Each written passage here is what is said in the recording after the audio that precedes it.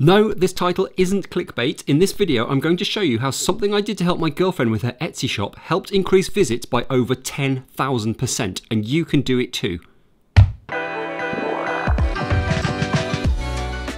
Now, I'm actually very lazy. It's both a blessing and a curse.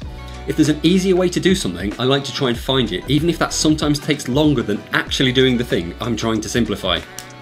My girlfriend Donna runs an Etsy shop called Tinted Treasures, which sells interesting vintage and antique items. So I asked Donna what takes the most time in a business, and she said after a full day of work at her main job, coming home and trying to come up with a decent creative description for each product that she lists can be tough. I was like, oh, project! And it didn't matter how much time was spent on it because it would save her time forever going forward once I'd cracked it. Now, in my previous life, I wrote software to automate and simplify repetitive business tasks. So I built on her a little software system that plugs into Etsy to manage her stock, her cost, item photos, and it can publish listings straight to Etsy at the click of a button. Now, while this is pretty cool and I'm proud of it and it kept me off the street corners for a bit while I built it, it's not the technology that this video is about. And also, because her shop's called Tinted Treasures, the management system is lovingly called the Tinted IT system. so, to help her write those product descriptions and keep them punchy, I wanted someone or something to write it for us, but I'm also really cheap and I don't want to pay anyone to do it. Now, I'm fascinated by the field of artificial intelligence. In a nutshell, artificial intelligence, or AI, is the pursuit of making computers able to think like humans. Until AI rises up against us and takes over the world, in its current form, we can use it in some pretty cool ways.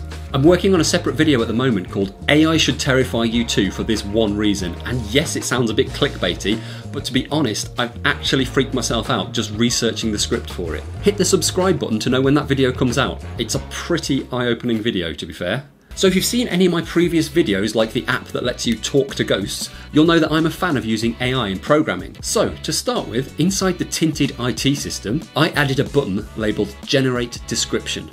Now, provided that there's a good, accurate title in the box above, which in this case is Antique 19th Century Le Jockey Club Paris Binoculars, my code then sends this title off down the internet wires to OpenAI's servers, prefixed with the words, write a description for the following product. The AI then looks at these words in the title and writes, from what it knows of the world, what it thinks is a good description for the product. It sends this back and I write it out into the description box along with our standard text.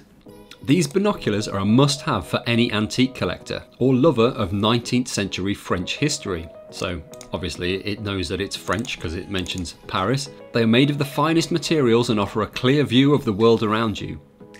So it knows what binoculars are, whether you're using them for bird watching, nature walks, or simply to get a closer look at the world around you, these binoculars are sure to give you a clear view. A computer's written that. A computer that knows what binoculars are has come up with that perfectly legitimate sentence. So let's try another one for an item that she's already got in her shop. Vintage 60s Judge Pyrex Toledo pattern casserole dish. Now I've got no idea what half of those words mean, let's see what the computer makes of it. This stunning casserole dish is perfect for any retro and mid-century modern kitchen. Cool. The Toledo pattern is a beautiful example of 1960s Pyrex, and this dish is in excellent condition. It's perfect for any occasion, whether you're hosting a dinner party or just making a simple meal for your family. A person could have written that, I've put zero thought into that description. I don't even know what the product is myself, and it's written this, and I'd say that's perfectly acceptable. Certainly a great basis to improve upon. I'm sure Donna knows more about it than I do, so she could add to that. Let's try another one. Vintage black and white Wade apothecary jar. Ungu Unguatum ultralarmum. I guess that's what it says on it. Let's have a look. Oh yeah, this rare Wade apothecary jar is a real collector's item. This beautiful black and white glaze is in excellent condition with no chips or cracks. The jar is perfect for storing your favourite herbs or spices and would also make a great vase for fresh flowers. Let's try another one. Villeroy and Bosch Acapulco pattern small milk jug creamer. What is it going to make of that? This vibrant Villeroy and Bosch pattern will transport you straight to the sunny shores of Acapulco. The small milk jug creamer is perfect for your morning coffee or tea holding approximately 3.4 fluid ounces. Where has it got that from? The striking design features Marina Bay against a backdrop of lush green mountains. Let's let's actually just look at what this looks like, because how is it getting this information? It says it features a marina bay against a backdrop of lush green mountains with a bold red border. No, it doesn't.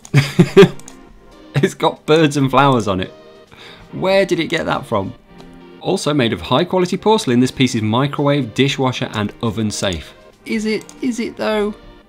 So sometimes it's spookily spot on.